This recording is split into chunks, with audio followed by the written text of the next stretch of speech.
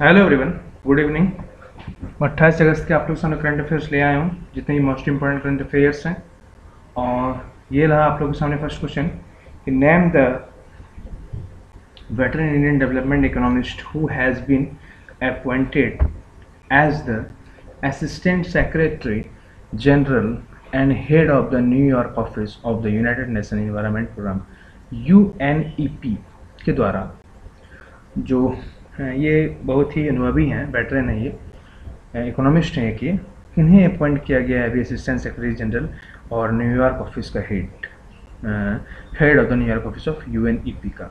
तो सत्य एस त्रिपाठी को नियुक्त किया गया है, ये वेटरन इकोनॉमिस्ट हैं और सत्य एस त्रिपाठी को, सत्य एस त्रिपाठी को नियुक्त किया गया है। India first India human mission will be launched by Indian Space Research Organization by जो इंडिया ने इसरो ने एक Indian mission Indian human mission launch करेगा। वो इंडिया की तरफ़ फ़र्स्ट ये इंडियन ह्यूमन मिशन लॉन्च किया जाएगा। ये कब लॉन्च किया जाएगा? ये 2022 में लॉन्च किया जाएगा।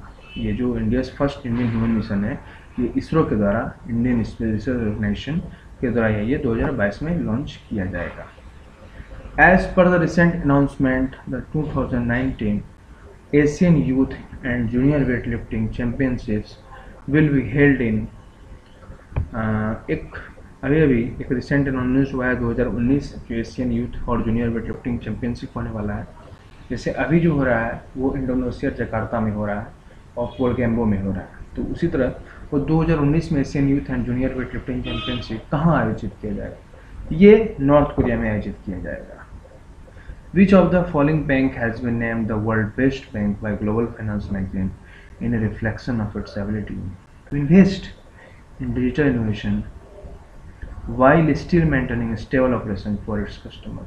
उस बैंक का नाम बताइए जो वर्ल्ड का best global finance magazine reflection की एबिलिटी टू इन्वेस्ट इन जो ग्लोबल फाइनेंस मैगजीन के द्वारा जो reflex reflection of its ability to invest in digital innovation digital investment digital investment में या डिजिटल इनोवेशन में इन्वेस्ट करने वाला उस बेस्ट बैंक का, world best bank of global finance magazine in reflection bank, जो इसमें एबिलिटी के अनुसार उस बैंक का नाम बताइए, जबकि while still maintaining stable operation for its customer जबकि इन्होंने अपने कस्टमर के लिए एक स्टेबल ऑपरेशन मेंटेन करके रखा है, अभी भी, इतना इन्वेस्ट करने के बाद, ये डीवीएस बैंक है। और ये डीवीएस बैंक का हेडक्वार्टर है, या डीवीएस बैंक बेस्ड कंट्री है, वो सिंगापुर बेस्ड बैंक है ये। ये सिंगापुर की बैंक है, इसका हेडक्वार्टर सिंगापुर है। Name the bank that has recently announced कि the department of financial services report has rated it as number one state owned bank in terms of digital transaction उस bank का नाम बताइए जिन्होंने अभी अभी अनाउंस किया है कि department of financial service report के अनुसार इसे has rated at number one state owned bank के नाम से इसे डिजिटल ट्रांजेक्शन में वन स्टेट वन बैंक के नाम से इसे डिजिटल ट्रांजेक्शन टर्म्स के नाम से जाना जाता है। उस बैंक का नाम बताइए। ये पी है। इसको ही one state one bank in terms of digital transaction ठीक है? Name the Indian javelin thrower who became the first ever Indian to win a gold medal at the Asian Games. उस Indian javelin thrower का नाम बताइए, जिन्होंने इतिहास में first ever Indian to win a gold medal at the Asian Games तो उसमें पहली बार जो है Indian first ever Indian to win a gold medal at the Asian Games में जीते वो नीरज चोपड़ा जीते हैं, और ये थ्रोवर है जेवलिन थ्रोवर है। सिर्फ़ थ्रोवर नहीं, एक जेवलिन थ्रोवर है Neeraj Chopra. Union Minister of Steel unveiled the corporate sports policy for CPSC under the Ministry of Steel. What does E stand for CPSC? CPSC जो अभी अभी एक रिपोर्ट सामने आई है जो कि यूनियन मिनिस्टर है हम लोग के तो पूछ रहे आप लोग से क्वेश्चन पूछते हैं कि हमारे जो यूनियन मिनिस्टर हैं वो कौन है अभी ये आप लोग कमेंट में लिख के बता सकते हैं कि यूनियन मिनिस्टर कौन है अभी? जो अभी ये क्वेश्चन आया है कि union minister of steel cabinet है कौन है स्टील मिनिस्टर? यूनियन जो मिनिस्टर हैं कैबिनेट के, वो कौन है? ये क्वेश्चन आया है, कुछ नहीं है। तो ये बता देते हैं आप लोग को, ये चौधरी वीरेंद्र सिंह हैं। यूनियन मिनिस्टर ऑफ़ स्टील जो हैं, जो ये चौधरी वीरेंद्र सिंह हैं और तो इन्होंने पूछा है कि चौधरी वीरेंद्र सिंह ने अभी अभी corporate export policy for C under the minister of state एक C P S C under launch किया गया है। तो इसमें ई का फुल फॉर्म पूछा, मैं पूरा ही बताता हूँ। C P S C C P S C का फुल फॉर्म होता है सेंट्रल पब्लिक सेक्टर इंटरप्राइजेस और ये पॉलिसी जो है प्रोवाइड करता है framework for promotion of sports by steel ministry के द्वारा। ये प्रोवाइड करता है और इसमें ये फॉर पूछा है तो ये इंटरप्राइजेज ही होगा। ठीक है? यही क्वेश्चन था। नेक्स्ट क्वेश्चन है the G twenty digital economy ministerial meeting was held recently in अभी अभी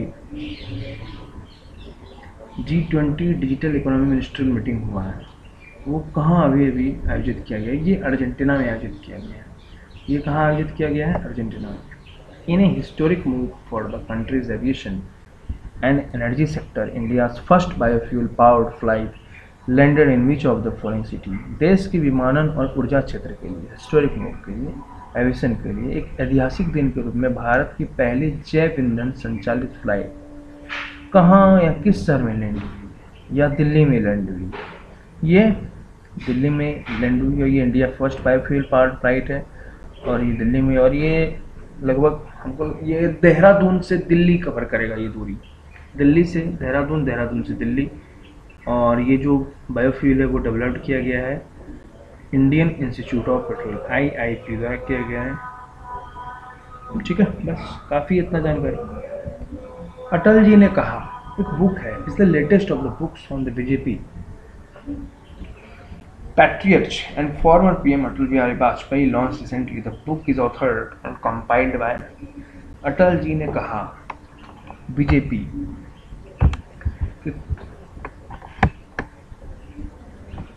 अटल जी ने कहा, बीजेपी के कुलपति और पूर्व प्रधानमंत्री अटल बिहारी वाजपेयी की किताबों से नवीनतम है, जिसे हाल ही में लॉन्च किया गया है। पुस्तक किसके तरह लिखी गई है? तो पुस्तक जो है वो ब्रजेंद्र रही के तरह लिखी गई है। पुस्तक ब्रजेंद्र के, ब्रजेंद्र रही के तरह लिखी गई है, ये अटल जी ने कहा, ठीक है? नेम द पेप्सिको को India born CEO who will be with the game changer of the Asian award game changer of the year award by global culture organisation Asia Society कहता है कि पेप्सिको की जो भारतीय मूल्य की जो सीईओ है, जिसका नाम केंद्रा नुई है, जिन्होंने अभी उन्हें इस्तीफा भी दे दिया था, लेकिन उनका अभी कन्फर्मेशन रिपोर्ट नहीं आया है को वैश्विक सांस्कृतिक संगठन एशिया सोसाइटी द्वारा game changer of the year से सम्मानित किया गया है। किन्हें? ये Indira Nooyi in which of the following events India Tajinder Pal Singh Toor won the gold medal at the 18th Asian Games in Indonesia. Question ये कहना चाह रहा है कि अभी अभी जो हिमा दास तेजेंद्र इंडिया तेजपाल पाल सिंह हाँ तेजपाल पाल सिंह हैं, जिन्होंने अभी अभी भारत के जो तेजपाल सिंह हैं इंडोनेशिया की जो अठारहवीं एशिया खेल हो रहा है इंडोनेशिया जकार्ता या जकार्ता में एक जकार्ता में हो रहा है दूसरा हो रहा है पोवेन में पोर गेम में ठीक है? तो ये किससे संबंधित है? ये शॉर्टपुट से संबंधित है India स्टेंजर Pal Toor wins the gold medal in man shot put final at the eighteen Asian Games in Indonesia. He brought India its seventh gold medal by winning the men's shot put, even with an Asia Games record throw of 20.74 meters in Jakarta. तो यह सातवां gold medal जीत लिया है India ने। और छः तो आप लोगों को बता ही चुका हूँ, ये सातवां जीत लिया है इंडिया ने। Name the US senator and also a Republican presidential nominee. In 2008 who passed away after losing a battle to brain cancer.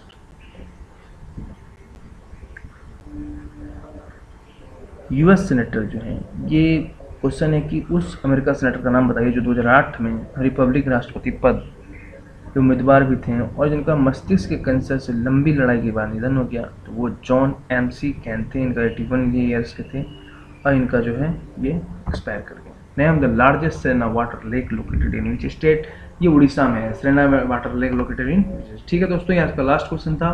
मैं कल फिर आऊँगा। धन्यवाद।